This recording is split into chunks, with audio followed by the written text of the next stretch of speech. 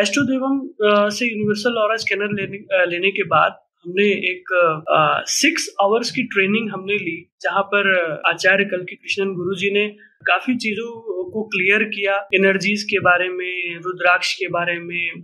आयुर्वेद के बारे में, उसके बाद फिर वास्तु शास्त्र के बारे में, इन सारी चीज़ों के अलावा और स्कैनर को कितनी हद तक हम यूज़ कर सकते हैं, उसका कितना अच्छा इस्तेमाल कर सकते हैं, ये सारी चीज़ें हमको सीखने को मिली। और साथ ही साथ एक बहुत ही अच्छी चीज़ जो मैं आपको बताना चाहूँगा कि एक मात्र ऐसा प्लेस जहाँ पर हमने ये सीखा कि और स्कैनर को यूज़ कैसे करना है, कुंडली शक्ति को जागृत करके तो वो सबसे इम्पोर्टेंट था कि हमारा, उन्होंने कुंडली शक्ति को जागृत किया, जो कि और कहीं पर भी कोई फर्म ये करके नहीं देता, दुनिया का कोई भी इंसान ये जो और स्कैनर सेल कर रहे हैं, वो कहीं पर भी ऐसा हमको फैसिलिटी नहीं है।